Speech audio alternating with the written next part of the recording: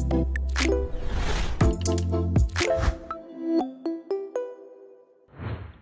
everyone, thanks so much for joining me on the podcast here today. I'm your host, Jared Taylor. Joining me today is James Foster, the CEO at Virax Biolabs. How are you today? Doing great, Jared. Thank you for having me. Excited to have you here. Let's dive right into it. Tell our audience a little bit about your background, and then we'll go into uh, your, your company. Sure. So I was one of the co-founders of Virax uh, way back in, in 2013, one of the few that are still standing uh, to this very day. Um, and uh, I started off in investment banking um, in the city of London.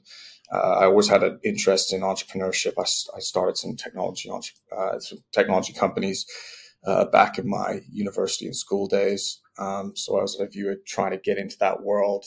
Um, as I said, I started in investment banking. Uh, that was during the financial crisis, which uh, you know I sort of probably don't need to tell you was not exactly the, the best time. Um, so I was able to kind of uh, move into entrepreneurship, which is what I ultimately really wanted to do in the first place. Um, I was able to start uh, what became known as Virax Biolabs in 2013 alongside a couple of co-founders.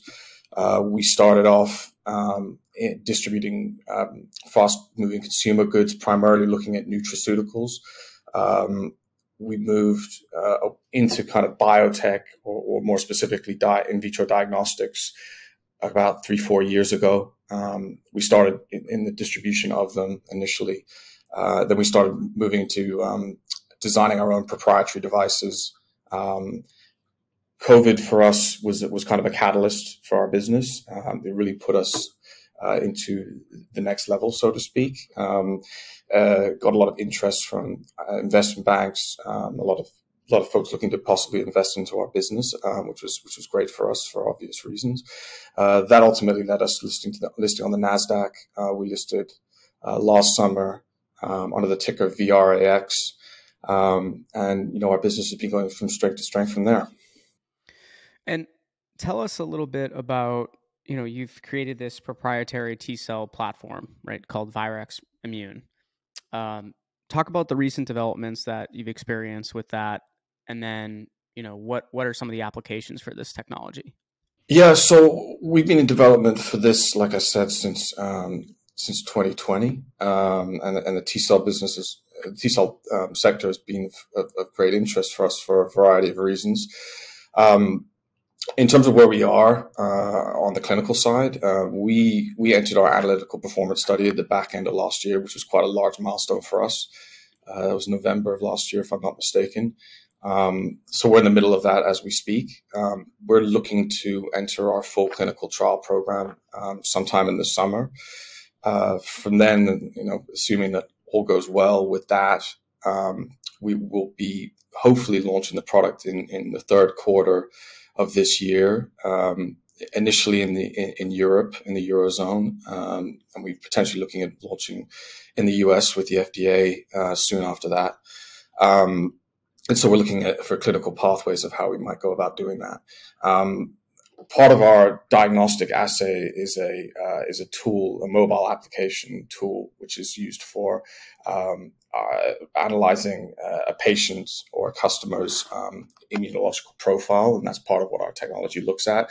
Um, our app we hope to roll out um, in the middle of the summer to Q2 of this year, um, which should precede the assay itself. Um, so I guess as relates to um, the technology and what we're kind of trying to do as Virax uh, Biolabs as, as, a generality, and so you know what we're really interested in uh, as a company and our mission, if you want to say it, is that we're we're the innovative diagnostics company. We're really focused on the detection of immune responses um, to and the diagnosis of viral diseases, and so we look at something specifically uh, which is called your adaptive immunity.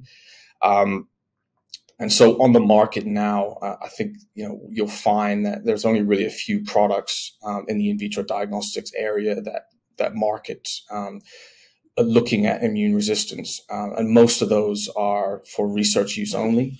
Um, so Virax Immune's T cell testing tools we see as having um, three pretty significant advantages as compared to other folks in, out there in the market. Um, firstly, um, our competitors are really solely providing a result. Um, to, to, patients. So if you want to talk about um, Oxford Immunotec, for example, or um, company like Adaptive Biotech that also looks at T cell testing. Um, these competitors really look at only providing a result um, to to a to a patient or a layperson uh, without a clinician, um, which doesn't really add huge value to um, to that particular individual patient's um, uh, what they're trying to find out or why why they're there or why they're why they're looking at their adaptive immunity in the first place. Um, you know, as I kind of alluded to in the first part of my answer, um, Virax Immune is not just a diagnostic assay; it's an integrated solution where we look at blood t- testing results. Um, and these are explained, you know, simply to the individual uh, alongside a, a, health recommendation, um, which is which is offered through our Virax Immune proprietary mobile application. So we're not aware of any other company that's sort of looking at that, um, namely um, adaptive immunity in the way that we are, um, and our ability to analyze the results through our proprietary mobile app technology. So, um, you know, we, we think that's quite unique as a kind of a first point. Um, and and secondly, we kind of look at it, uh, look at this as kind of um, uh, a broader shift um, in in how we look at um, diagnosis in general. We kind of think that Virax Immune it might be uh, uh, spearheading what could be a you know a, a, shift in paradigm in how we look at these things. Um, you know, since the pandemic in particular, it's been pretty widely accepted that prevention. Um, uh, preventative measures, medicine um, as a generality is far better than treatment. Um, we kind of feel that Virax Immune um, aims to guide individuals by providing them an immune passport um, from, from a blood sample, and this will be able to determine immune resistance to a set of viruses, which is also unique. Um, so we kind of look at this as a next generation device in terms of the broader shift into pre- preventative medicine, and we we, hope to be a really big part of that. Um, thirdly, and lastly, um, to further to the, the aforementioned points, um, what we're designing with the diagnostic is the idea that this would be um, lab agnostic. Um, and the idea also that that you know what we hope to through through our clinical trial and, and proving is that this will come through at a low, relatively low price point. Um, and so this would allow us to market, we believe, um, to both developed and the developing markets um, around the world, which again is quite unusual for a company that um, is looking at the technology and the way that we are, which is typically, you know, other companies typically look at more developed markets, the US and Europe, and, and don't really look to play elsewhere given, you know, the pricing and the, the complication involved. Um, and so we think we're, we're, we're, potentially tapping in an unmet, unmet demand there. Um, we'll be able to potentially look at endemic viruses across the world, such as Zika and Ebola, and uh, in areas um, and regions that have troubled the science community for, for many years. And so we we feel that what we're doing here is uh, unique and interesting in a variety of different ways. And apologies if that answer went on a little bit longer, but you know we're excited about what we're doing here. No, you're you're totally fine. I I want to dive in. You mentioned it a little bit within that um, within that piece, right? You were talking uh, kind of about where you where you see this heading. Let's talk about the the vision for the for the company going forward where where do you you know i know there's only so much you can say right? You're uh, you're publicly traded but in terms of you know what you can share what's exciting you about the future? I think in terms of the Virax immune uh, diagnostic assay um, in, in, particular uh, it's the simplicity of our proprietary tech that makes it so so interesting in my view. Um, our technology is relatively easily adaptable so the next pandemic or any new viral threat that sort of comes into uh, comes into being for whatever reason that might be, you know, we'll be able to be at the forefront of that very quickly. Um, as a result of the company and the way that it's structured, you know, we're we're not a startup, so to speak. We've been around for a few years, but we're relatively nimble. Um, so we feel that you know the way that we've developed our platform is such that we'll be able to move and adapt extremely quickly. Um, as and when it's required, um, which will put us at the forefront, you know, potentially for a significant period of time um, in this area of technology. And so the, the ultimate aim of that is to, to quickly expand our, our reach into other viruses. Um, and that, you know, that potentially makes our tool, um, you know, something that's indispensable to, you know, a, large variety of the scientific and, and uh, clinical community.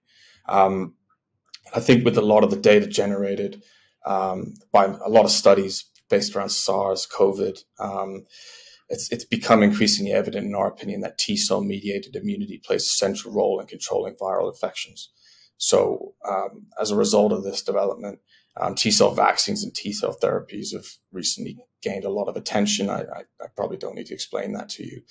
Um, so there's clearly a need to provide uh, support to these types of clinical studies, uh, and you know, Virax really intends to be at the forefront and major partner of adapting by adapting this immune technology um, and using it as a tool to overcome um, you know whatever future challenges might might come our way. Super interesting. I look forward to continuing to follow the uh, you know, Virax Biolabs journey. Um, really appreciate you coming on to talk about uh, your your platform competition, how you're differentiating yourself, and what the vision of the company is. Um, look forward to hopefully having you come back on in the near future. Give us an update, tell us where things are at, and uh, wish you the best of luck. Wonderful. Thanks, Jared. Thanks for your time.